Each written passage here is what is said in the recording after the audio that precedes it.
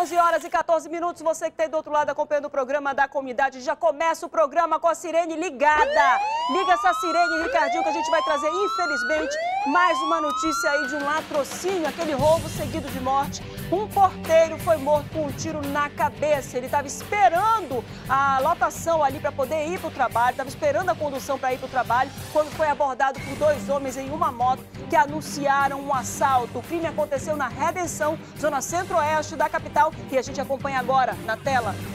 Foi nessa rua do bairro da Redenção. O porteiro foi morto às 5 horas da manhã. Estava a caminho do trabalho. Ele esperava o ônibus da empresa, que pegava todos os dias. Segundo os moradores aqui da área, eram dois homens em uma motocicleta. Eles desciam a rua fazendo arrastão, abordaram vários passageiros que aguardavam o ônibus, levaram vários objetos. O porteiro esperava a rota dele nessa esquina aqui e teria reagido ao assalto. Eliésio Souza Silva, de 56 anos, teria se recusado a entregar o celular e levou um tiro na cabeça. A irmã conta que ele costumava esperar pelo ônibus bem cedo. Era um homem trabalhador, saindo da sua casa às 5 horas, hoje cedo vi, ele estava aqui sentado naquele canto, como ele sempre fica todos os dias. E esse malandro veio e fez esse arrastão e, chegou a tirar a vida do meu irmão. Então eu peço justiça. O porteiro foi morto 14 dias depois da morte de uma professora também nessa área da cidade, o que deixou os moradores ainda mais preocupados. Quem vai ser o próximo? A gente imagina que o próximo será que é a gente? Porque do jeito que tá hoje em dia não tá fácil não. A polícia investiga o caso, mas ainda não há suspeitos. Não há suspeito, mas a gente espera francamente que, claro, com a ajuda das câmeras do CIOPS, verificar ali se existe alguma câmera de segurança nas redondezas ali da redenção, para tentar se chegar a essa autoria, para tentar saber quem é o responsável por essa morte. Suspeitas também, segundo os moradores, que eram pessoas que estavam fazendo arrastão já desde o início da rua. Então, provavelmente, o que, que era? 5 horas da manhã. Não tenho dúvida nenhuma de que era, infelizmente, mais envolvimento com o uso de drogas. As, os, os usuários ficam a noite toda usando. Quando vai amanhecendo o dia, acaba a droga, vai, vai aparecendo a fissura, aquela loucura de usar mais e aí acaba tirando a vida do trabalhador. Claro que a culpa pela morte desse vigilante é do assaltante, é daquele que estava ali para roubá-lo. A culpa não é dele, mas infelizmente quando ele escolheu reagir ao assalto, quando ele reagiu, ele acabou morrendo. Então é uma coisa que a gente precisa, infelizmente, ficar muito ligado com isso, se doutrinar, repetir, porque ninguém está ileso, ninguém está imune à, à, criminalidade. Infelizmente, quem sai para trabalhar, quem está na rua, quem para no sinal, quem fica, quem trafega pelas ruas da sua casa, é infelizmente a gente sabe, viu, Walter, que esses crimes podem acontecer com qualquer um. Então a gente precisa colocar na cabeça a não reagir. Porque, infelizmente, quando se reage, esse é o fim de quem reage a assalto, né, Walter? Pois é, e essa insegurança que está se instalando cada vez mais aqui na cidade de Manaus, principalmente nos bairros periféricos, Marcelo Asmar. Esses assaltos, né, os assaltos que são constantes em paradas de ônibus, são constantes. No centro da cidade também a gente já viu vários assaltos desse, desse tipo e as pessoas teimam em fazer, em reagir. A gente, às vezes eu fico pensando assim, é, que terminam, terminam tratando esses, esses assaltantes como, como sei lá, como um, um cara que de, de, maneira nenhuma o cidadão de bem tem que reagir. Tudo bem, não pode, não pode de maneira nenhuma faz, ter essa reação, né? Para que, que ele não, não reaja com violência. Mas hoje é, você está numa parada de ônibus, em direção do teu trabalho, em direção da tua escola, você está caminhando na tua rua da tua casa, né? E, e, e vir um, sei lá, um indivíduo te roubar, te ameaçar, você se sente ali realmente, é, é, assim, impotente diante dessa situação, vulnerável diante dessa situação, Márcio. Realmente está, Walter realmente você está impotente, você está vulnerável. Porque se você tiver que tomar qualquer tipo de providência, não é na hora em que você está sendo assaltado. Na hora em que você está sendo assaltado, você está vulnerável a uma arma. Você está impotente diante do poder de fogo do bandido.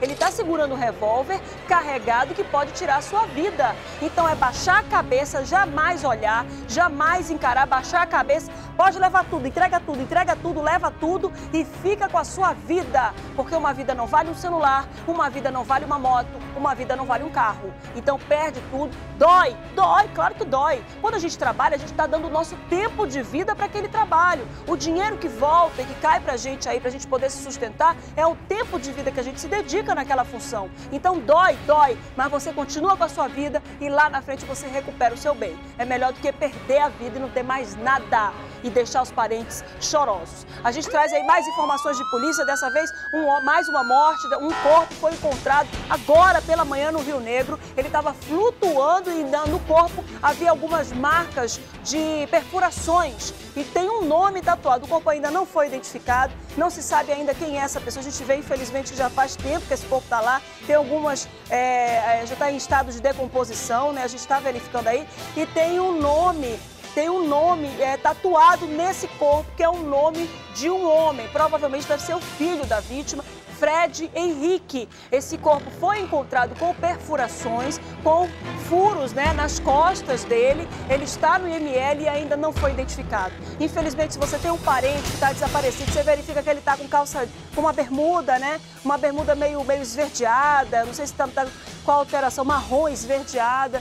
Tá molhada, a gente não tem como ter uma ideia precisa da cor. Quem tem essa cor quem tem essa ideia era o bombeiro, que foi que o bombeiro que resgatou. Ele estava com as mãos amarradas para frente, uma bermuda mais ou menos esverdeada, acho que é essa que é a tonalidade, ele estava de bermuda, tem uma tatuagem de Fred Henrique no corpo e foi encontrado boiando, esse corpo foi encontrado boiando hoje cedo no Rio Negro. Foi resgatado pela equipe de corpo de bombeiros, dos corpos de, do corpo de bombeiros e foi levado para o Instituto Médico Legal. Até o momento, até o início do programa, esse corpo ainda não havia sido identificado. Então, infelizmente, se você está com um parente desaparecido com essas características, tem essa tatuagem no corpo e está de bermuda, corre lá no IML, porque pode ser um parente. A gente torce aí para que não seja é, ninguém da família, mas infelizmente foi identificado? Olha, a gente está apurando agora, parece. A gente não sabe ainda, não tem certeza. A nossa equipe está apurando. Parece que ele foi identificado, né?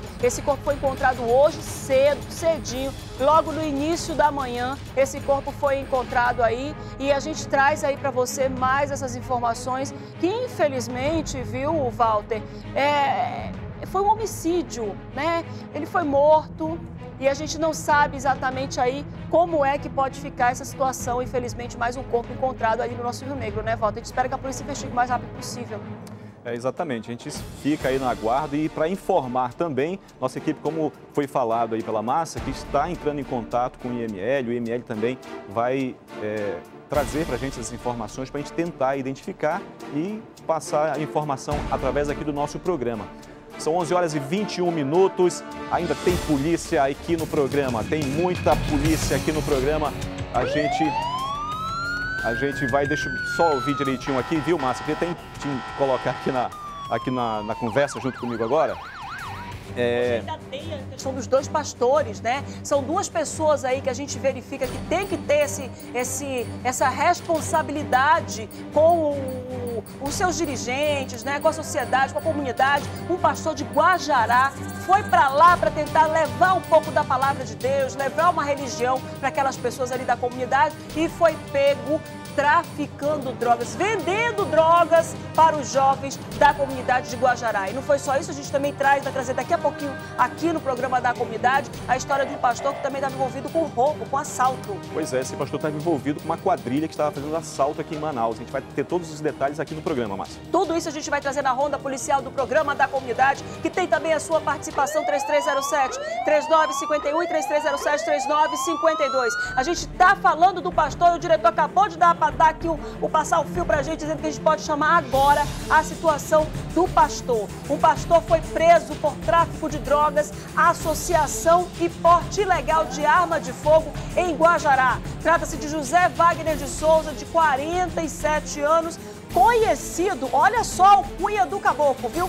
Veio da droga velho da droga. Estava de posse de R$ 5.500 em espécie e várias joias, além de três celulares, três relógios, dois celulares e um revólver calibre 32 com cinco munições intactas. E ainda um pé de maconha. É, o caboclo não plantava cheiro verde, não. Ele plantava maconha. 112 gramas ainda de pasta base de cocaína. Ele foi preso em flagrante e foi levado ao 69º Distrito Integrado de Polícia. Está aqui o pastor, infelizmente. Esse aqui era o jovem que estava comprando a droga dele. A gente vê aí que ele, se ele estava com relógios, celulares, provavelmente ele deve ter é, aceitado esse... Deixa, segura essa, essa imagem aqui. Segura essa imagem, por favor, Cris, a imagem da carteira dele. Queria que você voltasse aqui. Olha só, para ele chegar a ter uma carteira como essa, ele deve ter feito curso, né? deve ter feito promessas. Certificamos que José Wagner Silva de Souza foi certi... Como é que é que está escrito aqui? Está brilhando. Foi licenciado, é isso? Licenciado presbítero, podendo pregar, batizar, tirar ofertas e dízimos e ministrar a Santa Ceia. A Igreja Evangélica Apostólica é uma entidade religiosa com sede foro em Campinas. Olha aí, olha só, presbítero, vencida, é, é, olha, 20 de abril de 2014, ele estava com a carteira dele vencida e ele estava, em vez de pregar a bondade, pregar a benevolência, pregar o bom tratamento e a moralidade, estava pregando a droga na cabeça das pessoas. Era isso que ele estava fazendo. Estava batizando para o mundo do crime. Estava doutrinando traficantes e doutrinando jovens que tinham acesso a ele para que enveredasse pelo mundo do crime. Olha o que é a missão, né? Nem todo mundo vai ser rico nessa vida, não, minha gente. Tem uma triste notícia para dar para você que está aí do outro lado achando que vai enriquecer. Se todo mundo nessa, nessa nossa vida fosse ser rico, a vida ia ser uma maravilha. Nem todo mundo vai ser rico, mas isso não significa que você vai virar bandido.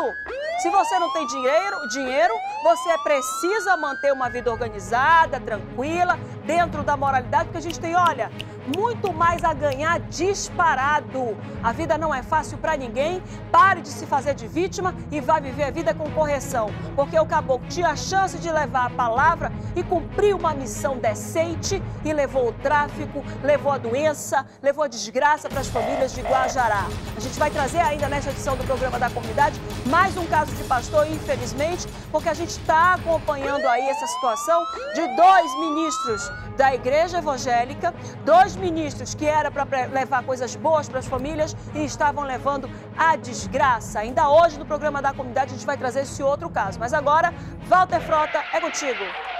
Pois é, vamos lá para o Amigos Gourmet para sair um pouco desse clima pesado. Eu ia falar o seguinte, eu conheço vários pastores que são pessoas honestas, pessoas que trabalham, pessoas que trabalham em prol é, das comunidades, né? E a gente muda de assunto aqui para o Les Amigos Gourmet. Ó, Les Amigos Gourmet oferecendo pra gente aqui esses brigadeiros de chocolate belga. Então você daí de casa para dar uma uma adoçada na sua vida e adoçar bem, né? Adoçar com chocolate belga, maravilhoso, né? Nessa quarta-feira. Então liga pra gente aí, 3307 3951, 3307 3952. Olha só o endereço da Les Amigos Gourmet Fica aqui ó, na Avenida Ivanete Machado, 386, lá no Parque 10. Lá no Parque 10 fica a Lesami Gourmet. E hoje está trazendo para gente aqui esse, essa caixinha de brigadeiros que está delicioso, né? Brigadeiros belgas. Eita, que negócio bom, né? E é para você daí de casa que está acompanhando o programa de hoje, né? É, entra em contato com a gente, liga mesmo, participa. Telefone, telefone 3307 3951 3307 3952. Essa foi a dica para você daqui a pouco ligar para a gente, participar do nosso Agora Premiado. Mas agora tem outra dica, essa é com a Márcia Lasmar. Confere. Sabia que o Walter Frota e eu podemos ir à sua casa para ouvir a sua história e ainda fazer, comer aquele almoço gostoso que você vai preparar? Pois é, no Olha Quem Vem para o Almoço, você manda sua foto e diz eu tenho uma história bem bonita para contar pro 991-537959 e a gente grava o quadro Olha Quem Vem para o Almoço lá na sua casa. Todo mundo na mesa, hein? Fica ligado e manda sua foto com a mensagem eu quero participar do quadro Olha Quem Vem para o Almoço 991-537959. Enquanto você manda seu recado, eu vou te dando uma dica show de bola. Há um bom tempo que eu falo que calcitran é a sua melhor opção para combater a osteoporose. Veja o depoimento de quem já se beneficiou com calcitran. Eu faço exames anualmente. Um dos exames constou que eu estava com um princípio de osteoporose. Foi quando o médico me indicou reposição de cálcio e eu conheci calcitran. Depois de um ano eu refiz os exames e a minha doença estava estabilizada. Então eu e calcitran é um casamento para a vida inteira. Viu só? Calcitran repõe as necessidades diárias de cálcio e vitamina D com apenas um comprimido ao dia. Você que sofre com dores na coluna, dores nas juntas, comece hoje mesmo a tomar Calcitran. Mas preste atenção, não tome qualquer cálcio. Ao chegar à farmácia, exija Calcitran. Calcitran está à venda em todas as farmácias do Brasil, mas a preços promocionais somente nas drogarias Angélica e Farmabem. Agora, se lhe oferecerem outro produto, não aceite. Troque de farmácia, mas não troque de produto. Calcitran tem a garantia de qualidade Dive com Farma. Walter, é contigo. Valeu, Massinha, é comigo mesmo. Agora são 11 horas e 29 minutos. É aqui mesmo, Enison. Tá certinho aqui? Mais pra cá um pouco. Vou me posicionando, conversando com o Enison aqui, né? 11 e 29, ó. Daqui a pouco, após o intervalo, a gente vai vir com matéria da comunidade. Alô, os moradores aí do bairro da Vista Alegre, que não estão tá muito satisfeitos, não. Eles não estão muito satisfeitos, não. É a comunidade é, Vista, é, Vista Alegre, é isso. Comunidade Vista Alegre, daqui a pouco, após o intervalo, tem denúncia da comunidade. Só um instante.